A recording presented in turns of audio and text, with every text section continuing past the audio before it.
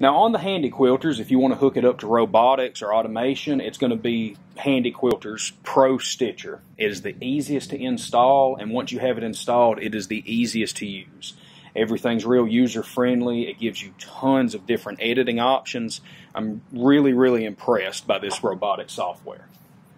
Just to start off, I'll show you how many designs you get.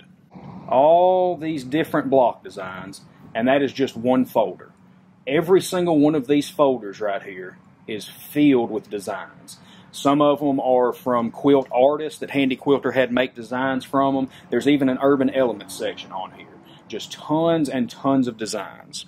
Now, just like with any other quilting software, if there's something on not on here that you're wanting to quilt, you can buy that design or download it online, load it into this machine with a USB stick.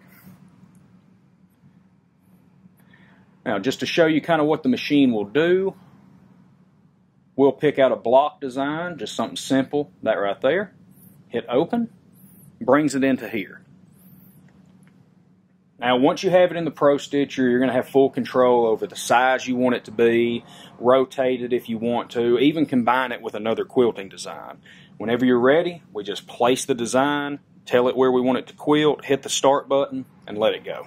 Now we're going to go ahead and let the machine run on the automation. Now when we first got this machine set up, this was something that really impressed me about it. Most long arm quilters, when you run into the automation, they slow down because the faster it moves, the worse the stitch quality is. On this one, the machine moves at 3100, 3100 stitches per minute in the automation. The machine is quiet, it runs smooth, and your stitches are absolutely perfect. So let me go ahead and show you.